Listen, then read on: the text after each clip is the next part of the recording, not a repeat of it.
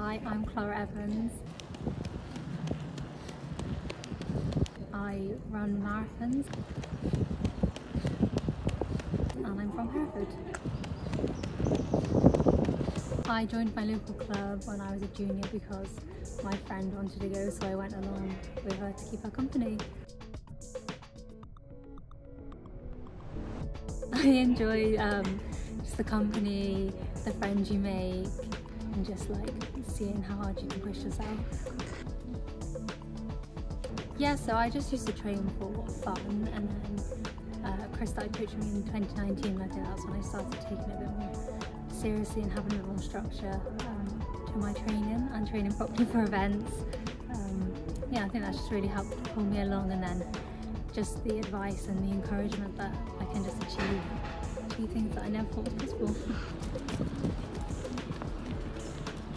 yeah, I was really happy because I was obviously hoping to go quicker than my 232 and get the Commonwealth standard again.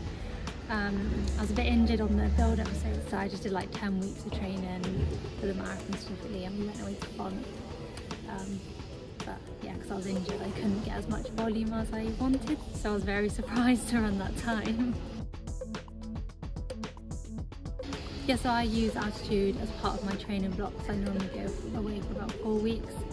Um, do some high mileage training away and it just really suits me and I always come back really strong and really fit with just and then I come back down and taper into my race so I'm at like peak performance and it just seems to work really well for me. Um, just to hopefully compete at the Commonwealth Games and yeah, see where it goes from there and just have a good race hopefully.